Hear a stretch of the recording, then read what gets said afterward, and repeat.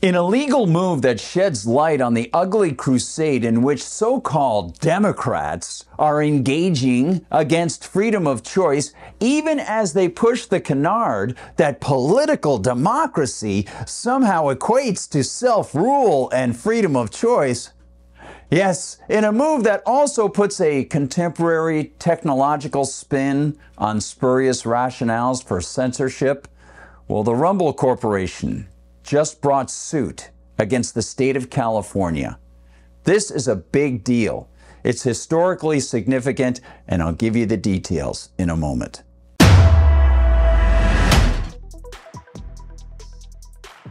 Hi everyone, I'm Gardner Goldsmith for MRC TV, and here's the story. The fight is over two recently passed California statutes that step in the way of people posting online artificially created so called deep fakes, regardless of whether anyone claims any harm to his person or property dealt through any form of defamation or fraud from these deep fakes.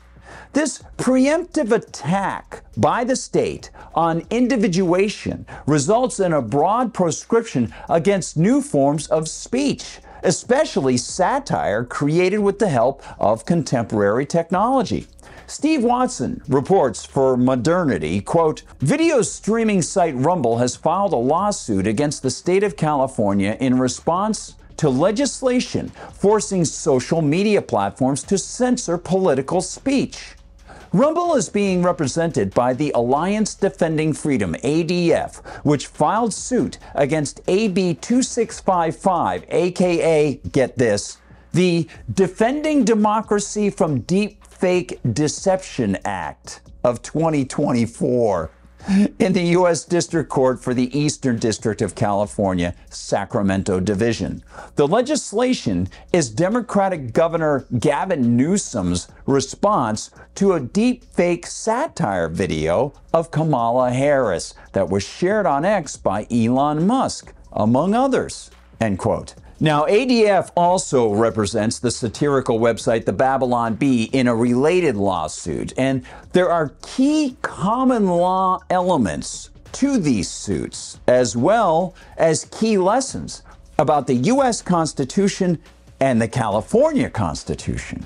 Quote, ADF stated in a press release that the law deputizes Rumble to restrict its users' free speech, while another law, AB 2839, protecting democracy against election disinformation and deepfakes, uses vague standards to punish individuals posting political content about elections.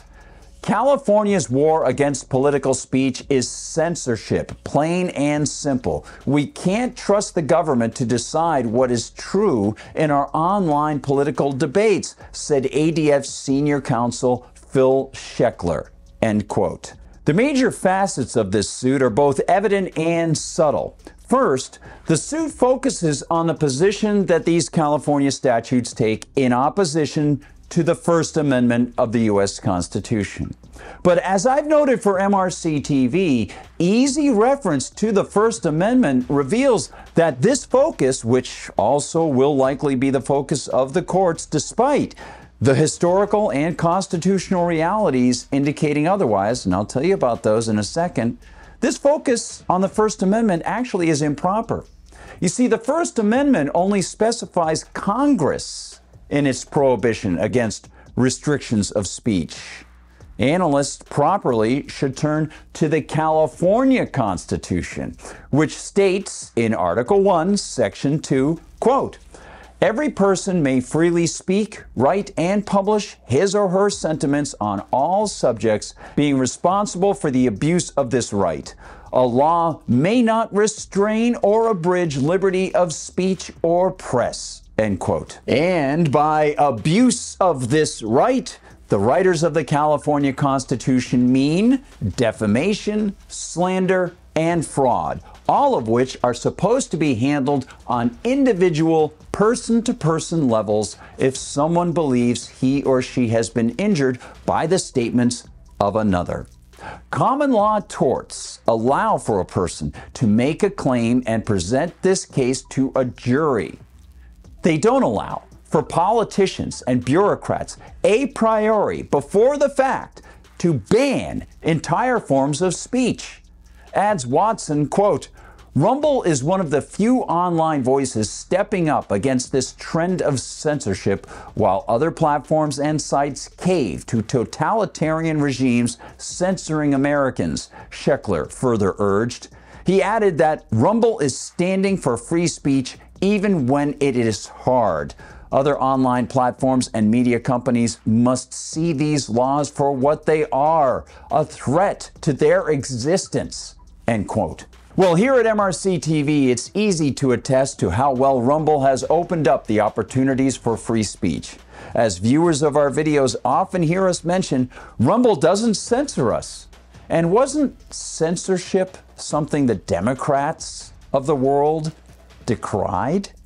Quote, Chris Pavlovski, chairman and CEO of Rumble, further urged that the very thought of the government judging the content of political speech and then deciding whether it should be permitted, censored, or eliminated altogether is about the most chilling thing you could imagine. End quote. Well said. Although perhaps Gavin Newsom will try to censor that as well. And Pavlovski added, quote, Rumble will always celebrate freedom and support creative independence, so we're delighted to work with ADF to help protect lawful online expression. End quote. Well, if Gavin Newsom and his censorious friends have problems with people creating AI generated satires, each of those people who might have a problem can attempt to engage in traditional common law torts for damage to themselves or their property, such as a business. But these purported lovers of political democratization who try to equate freedom with what political democracy actually is, which is a big gang telling the minority what to do, well, these so called freedom lovers don't actually like democratization in the form of freedom from government in the form of larger individual control over one's life. These pompous controllers are not liberty minded. They're not liberal by any means. Would Newsom or others try to ban talented impressionists? People mimicking politicians to inspire laughter? And how similar is too similar here? More appropriately, one might ask, has anyone claimed damages? That's the key. If so, let the individuals involved hash it out before a jury. Don't get the government involved in threatening all of us because that itself is immoral. And if these blowhards in California want to claim that AI samples their voices to create the new phrasing, the satire, and so on, well, let them bring personal suit. And of course, let them remember they're public figures who willingly ask to get into tax funded offices. They take from us every day. They take, they sample from our lives. And of course, the chilling effect created by this pair of California statutes is remarkable. And Rumble's fight is crucial, not only for our future, but to show respect for the past and for the very important principles that the founders understood. Thanks for watching, everyone. Please like and subscribe. Find us on Rumble where they don't censor us. Of course, we're still on YouTube where, yes, they do censor us. And it's frustrating. And to double check that you're still subscribed if you are subscribed over at YouTube. We love people following us at Rumble, and please share the videos far and wide. Visit us at mrctv.org. That's mrctv.org to find out what the whole team is doing. Open up a new tab, check it out. And while you're there, check out the MRC TV store. And of course, please consider donating to the Media Research Center. And if you want to find us on Facebook, we're there. On TikTok, we're there. On Instagram, we're there. On X, we are there. And you can find me on Gab at Gardner Goldsmith and on X at Gard Goldsmith. Thanks for watching, everyone. For MRC TV, I'm Gardner Goldsmith.